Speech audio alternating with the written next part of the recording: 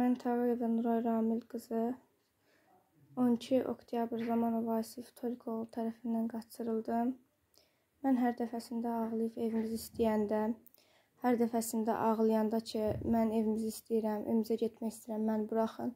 Onlar mənə cürbəcür dərmanlar verirdilər. E, bilmirdim nə dərmanlar olduğunu. O dərmanların e, mənə çox pis təsir eləyirdi bütün e, beynimi yatışdırırdı. Bütün gün halsız olurdum. Heç bir şey danışa bilmirdim. Sadəcə olaraq yatmaq istəyirdim.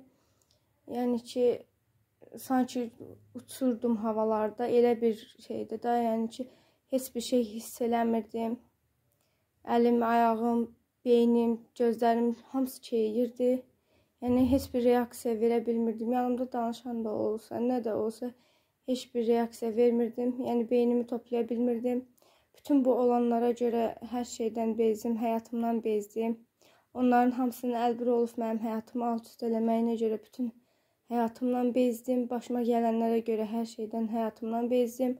Ona görə də mən bu məktubu yazıb bir neçə yerə qoyuram ki, mən ölsəm, mənim qanımı yerdə qoymasınlar. Mənə qarşı çox böyük haqsızlıq eləyirlər. Polislər nə o Asifi, nə onu məni qaçırtmaqda kömək eləyənləri, heç kimi tutmur.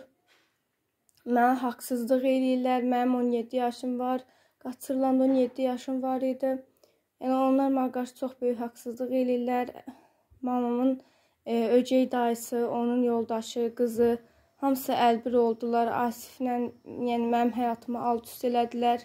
Mən öz həyatımı yaşayırdım, sakit tələbə idim, Qazaxda tələbə idim, oxuyurdum, kollecdə oxuyurdum, ixtisasımı maliyyə idi. O üzrə də gözəl həyat, gözəl gələcək qurmaq planlayırdım. Bütün həyatımla, planlarımla, gələcəyimlə oynadılar.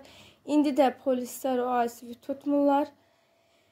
Yəni ki, mənim qanım yerdə qalmasın. Mən özümü intihar eləyəcəm, özümə qəsd eləyəcəm. Bu məktubdan da yazıb hər yerə qoyacağam ki, mən öləndən sonra e, görsünlər, oxusunlar, şikayət eləsinlər, mənim qanım yerdə qalmasın.